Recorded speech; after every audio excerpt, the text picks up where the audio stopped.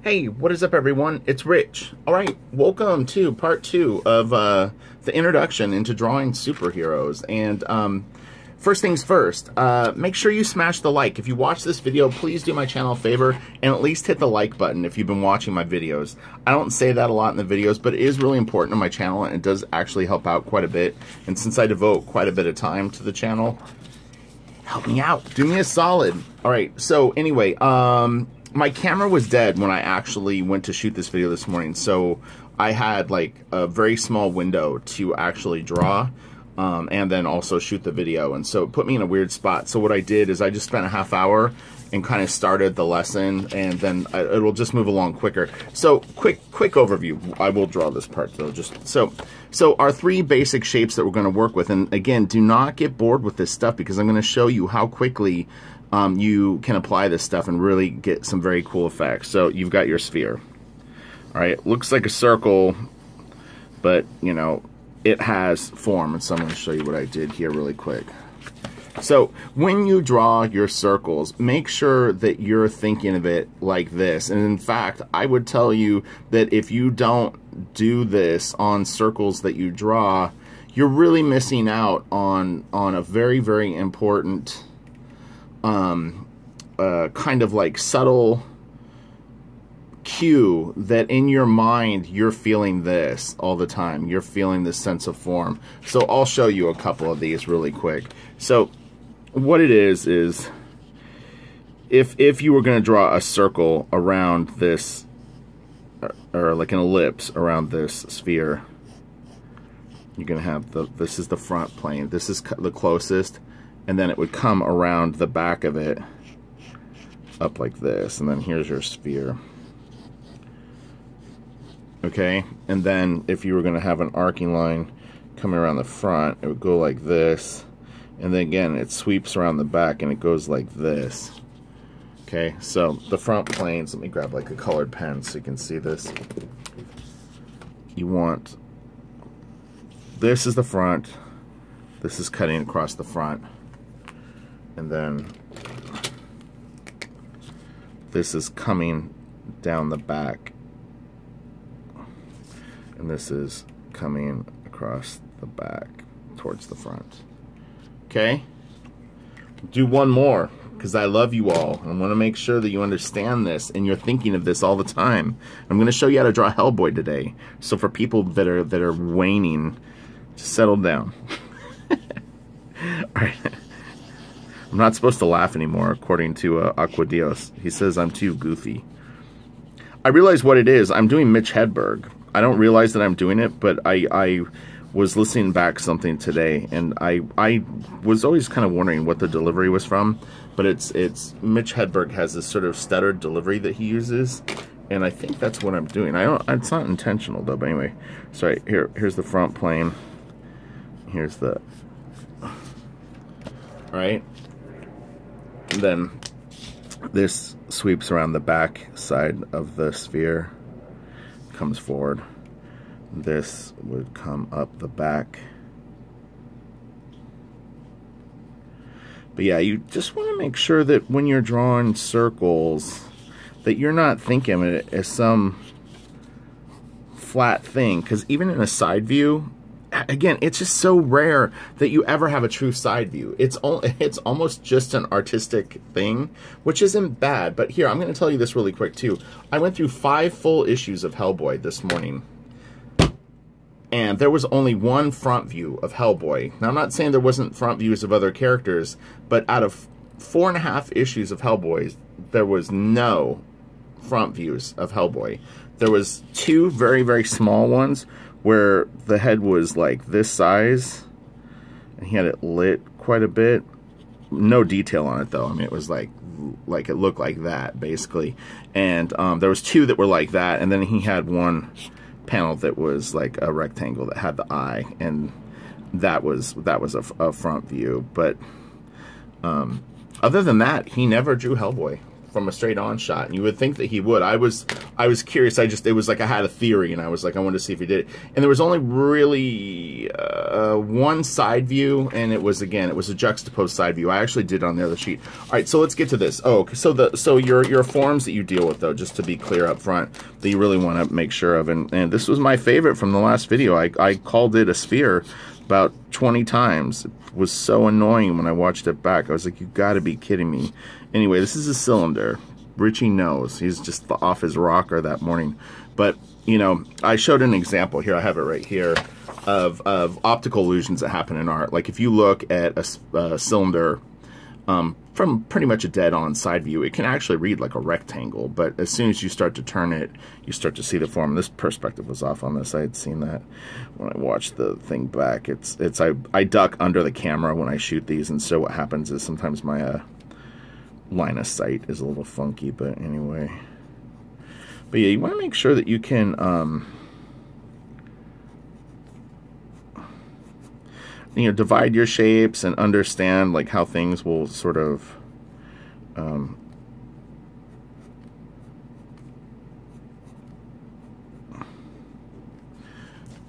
you know, it, it, just really will benefit you to be able to do this. And I showed these, and again, I'll have a playlist link in the description below. There's only one video before this. Um, okay, so let's get to the stuff that I drew today. So again, I did I did this. I show you that if you remove it, you're doing shapes like this you know, if the if the sphere wasn't here, you're still doing almost like it's like a bike tire coming at you kind of thing. You know, you want to be able to fill that form and again just to show you the way that you want to see it is this is the front. This is the front. Okay? And so I'll kind of show you these in order. Um, and then, you know, you can play with like kind of this, the Saturn idea with the, the ring around Saturn. But again, the, the ring around Saturn is open. So the further it goes back, you're going to see less of the top plane. We're looking above this right now. That's why you're actually seeing like this. Now, if I turned it up and we're seeing the underneath, it would look more like this. Okay, that's from above looking down. You're seeing the top, the top plane.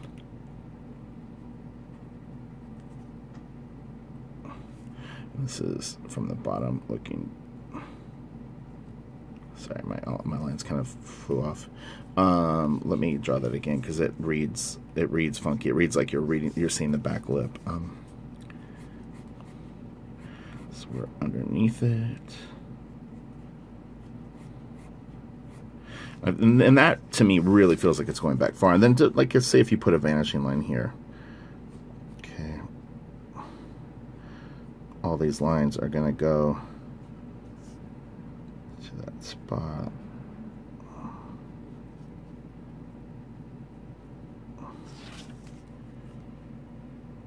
And that's you're seeing from underneath. So if it, if it had a lip, it would be like that. These will get closer and closer together as they get to the edges. And again, tighter as they get to the edges.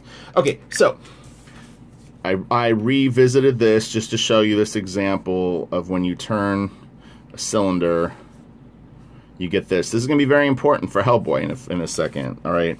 So these, I start showing how it can get smaller and smaller. And then what I did is I actually sliced off a chunk. So if, if um, you know, you took this and you're going to isolate a piece. And Hellboy's horns aren't perfectly, they're not like a coin.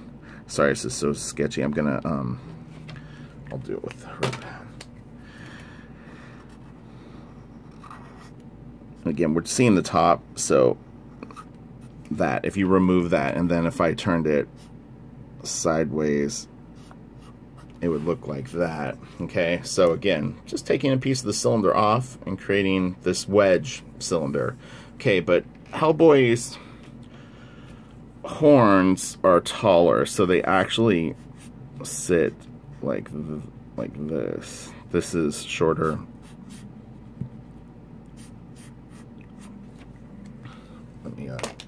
put a dark line around that now.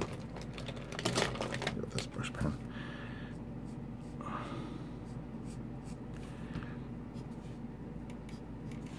Okay.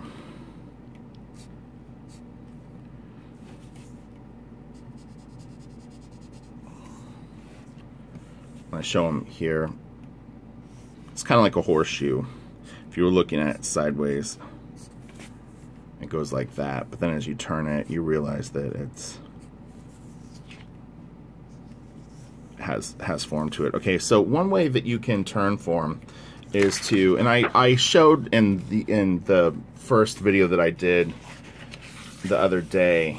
Um, a lot of times, what I'll do is if I draw like um, like a circle shape, is I'll I'll think of it in really terms of uh, space instead of a flat thing. So again, it's it's going back to this idea of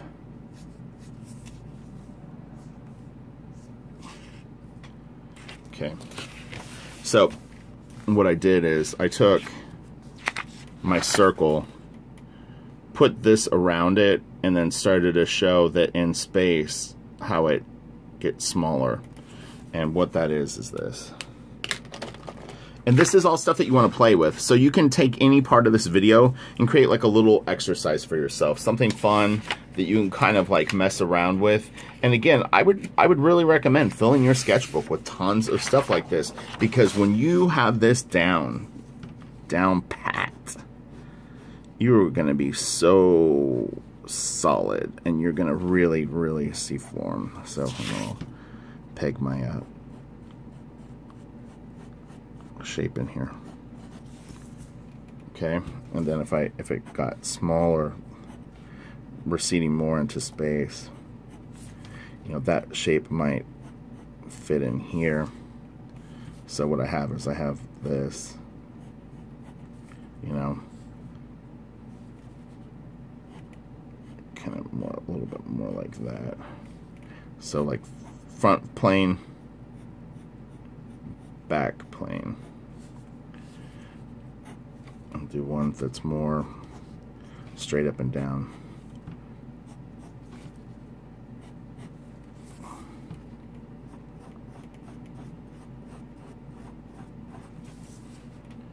Okay, and then you can also, yeah, it's, okay if you want to even do something along the lines of that.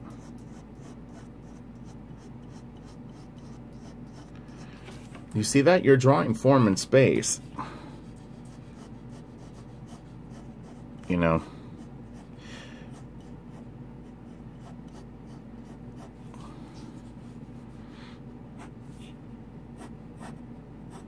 And what's really interesting is wait till you have to start putting this on a cranium, because a cranium isn't a cube. It is got different forms on it, and so what ends up happening is the stuff doesn't sit flush on it.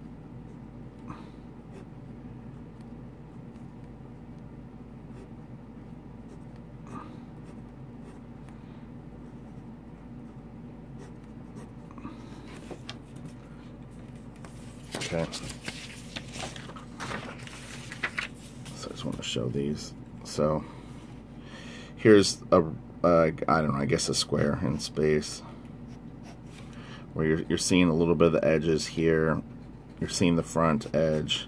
And then if you were going to put your cylinder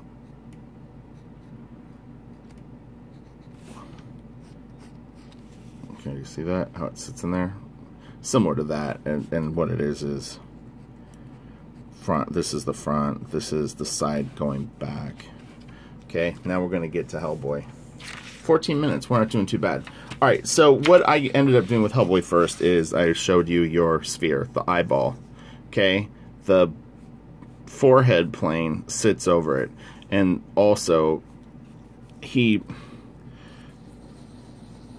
Hellboy's eye is kind of more tear shaped or almond shaped. So just I was trying to show basic forms. So you've got your sphere, you've got this rectangle, the circle, cir circular eye, but yeah, it is a tear shape. Then this, then I kind of put in the shape of his eye a little bit more. And I, and I did all this stuff so fast. It was so simple because I understand all this stuff. again, and then putting in the eye and you know, if you want, you can kind of have it at, at, an angle and the socket sits under it. We went over the eye socket in the, um, the last video. So you want to check out this part of the video because I talk about the sphere and covering it. So right here you have the sphere of the eye, which again is a sphere. So it's it bulges out and the eyelid goes over it and it goes over it. And because we're under this a little bit, these lines are curving. If we are below it, I mean, uh, when we're under it, it, they curve up because you look here, that's, this isn't the eye, but you can imagine that if the eye was this, this is going to be like this, and then the other lid actually covers it like that. Okay. But then if you're beneath it,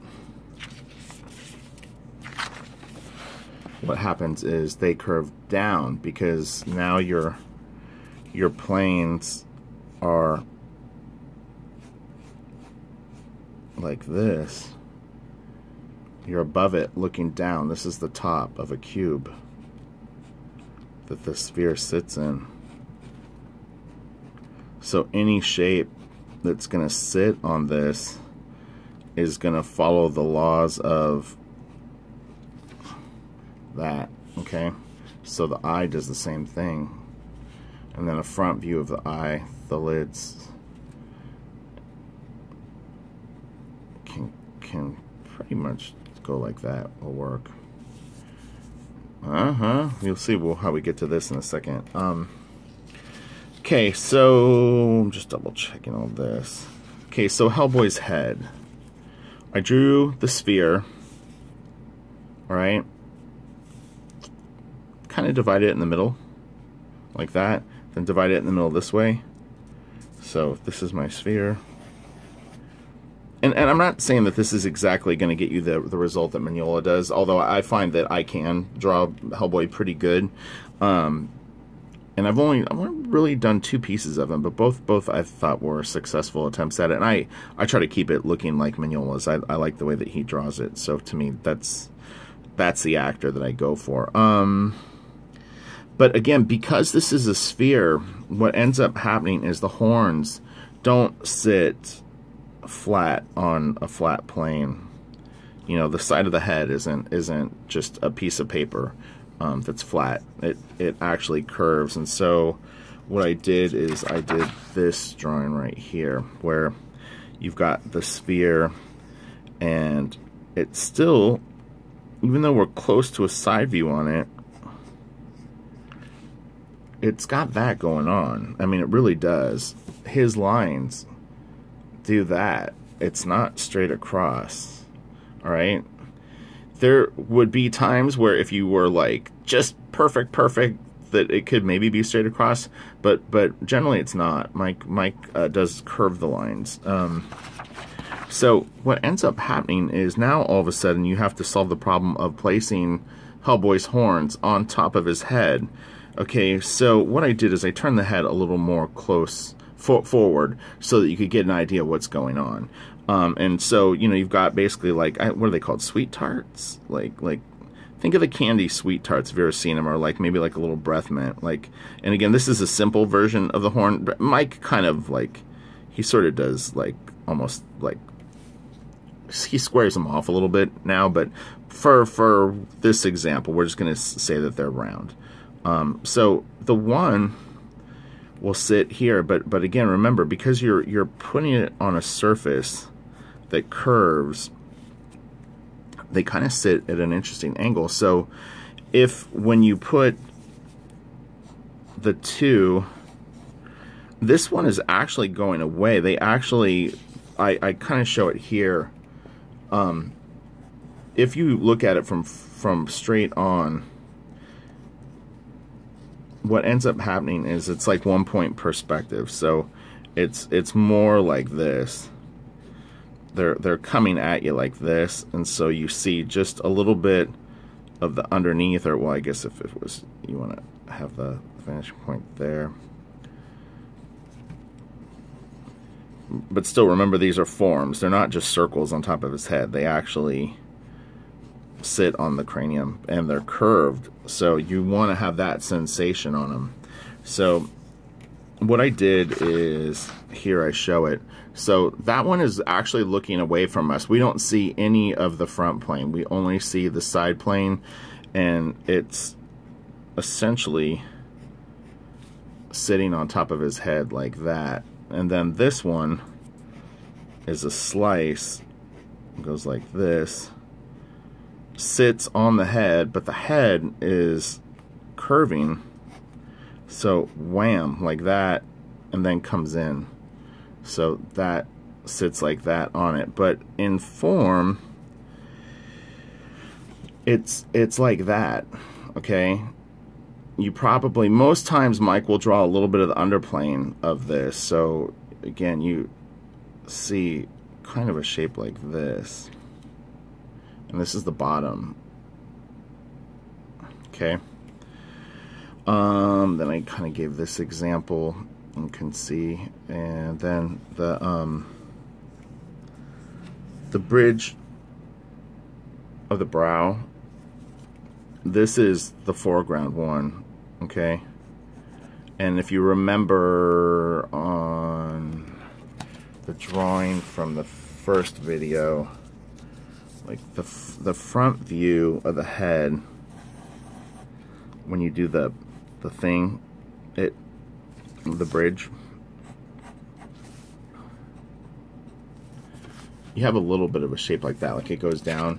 And so what Mike does is he separates it here, but it's the same idea. This is this brow, like if you, if, if just say for an, an, an instance that Hellboy had eyebrows, one would go there, but then another one would be coming in here. You know, that's the back brow. And then the nose, the distance between this stuff is he this is pretty long so you have your kind of standard proportions here like the ear in theory would probably sit here more you can kind of play that he's got a little bit of a pointy ear um, and then um, this would be usually divided in half but but it, it's a little bit longer and then this jaw juts out a bit more and um, then the teeth go back in at an angle. And again, this isn't a full-on like drawing Hellboy thing today because it's just too much, I think, for people to take in. Um, and again, I gave an example of how the horns sit on the head. You're going to need to problem solve this stuff first, and it's a and, and then I showed the nose. Um, and i am actually going to pull out a Hellboy comic here in a second. I'm going to show you some examples of of exactly what we're talking about. I think that'll really bring it home. Um, but uh, yeah, so you know, if when you're when you're putting a nose on someone's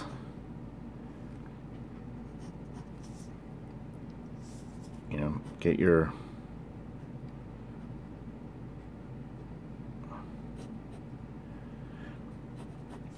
your rectangle tip of the nose sits at a different angle comes like this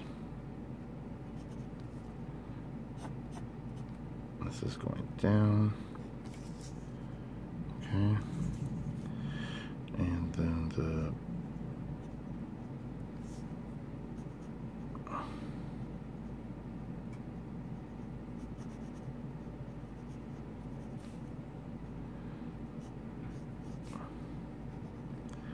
then you got the the brow again this this area will fan like that so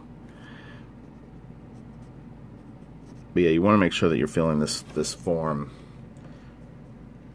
Okay, so let's grab out a Hellboy comic and we're going to look at this for a second. Show you some of these shapes. Okay, so this is an upshot. Oh, actually, I can doodle sort of uh, thing for y'all. Alright, so I'm to do this really fast, but all right. So we got our sphere. Got this. Sometimes, um, just to be clear too, like like depending on what you watch these videos back on, stuff can sometimes get cropped, but um, uh, sorry, let me just concentrate for a sec.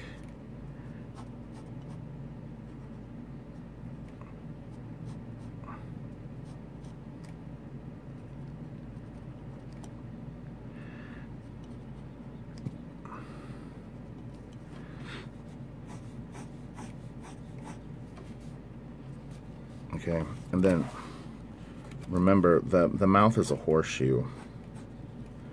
Okay, and then the bottom one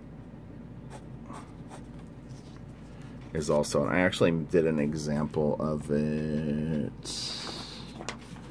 One of the things I did today, where is it? Oh, yeah, yeah, yeah, here. So, when you look at Hellboy from fairly straight on view, this is kind of the structure of his head to some extent, very simplified, but but if you're looking from straight on and he opens his mouth, this is going to start to uh, go up, and you want to make sure you're feeling this form. And you can see he utilizes that there, where it's like because we're looking slightly above it, it goes like this and curves around. And then this lower jaw, because we're underneath it, the teeth are actually we're not seeing the root of the teeth, we're just seeing the top, and then these teeth are actually sitting like that. You see that? Like, like this is the bridge of the mouth. And the teeth are sitting back maybe about a quarter of an inch into the thing. So that's why he moves that space back and they sit inside the jaw. Um, and uh, here's a somewhat of a front view, but you're seeing a little bit of the sides of this stuff. Um, nice solid planes. He's got this, the head.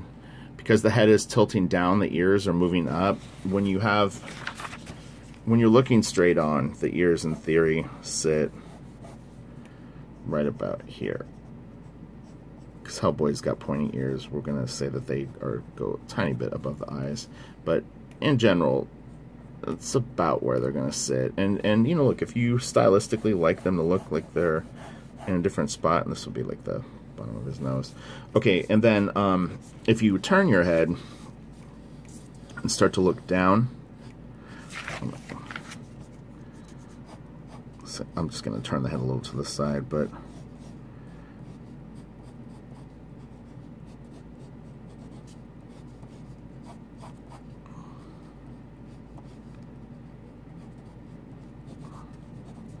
the ears will start to lift they actually go up higher. But they're still connecting to the same spot, but because the sphere is starting to recede in space, things things start to change a bit.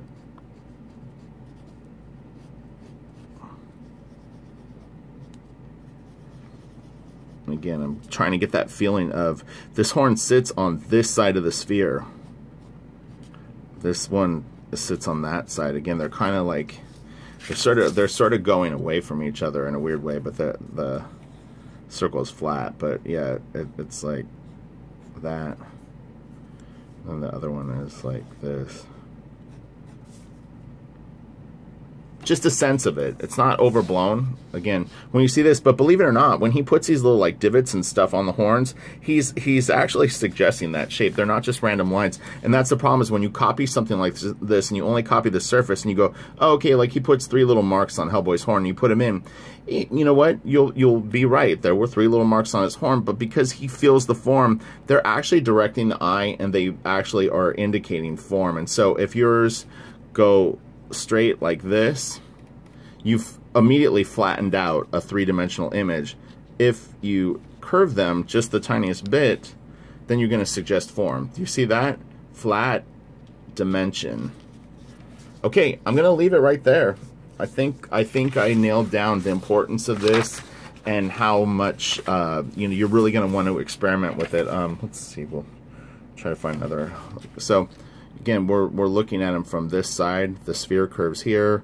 Because it's sitting here, this one is going this direction. This one is facing towards us. Again, the same, the same thing that I just pointed out. It, it's like this one is going that way. This one is coming out towards us. They fork and then like, you know, like that. So anyway, and uh, we'll get into other stuff. But again, this is very, very important. And uh, almost every comic book character that's in a costume, you're going to deal with problems like this. So you might as well really, really get comfortable with form. Because if you try to draw Batman or Robin or Wolverine and you're dealing with the hair, or if he's in the costume and he's got horns on his head, or a character that wears a helmet, this stuff is just so important. Or even a helmet with like things that come off of like the jaw area and stick out, you know and you need to put him like a like Loki that has the horns that come out. This is all stuff you're going to need to know really good. Okay, please smash the like. Check out my Patreon support me there with a tip. I have five uh, private videos. I've been doing now a new series of drawing videos that I'm starting just for Patreon. Um, and again, a dollar gets you access to all those videos, and there'll be more and more coming. Okay, thank you. Bye.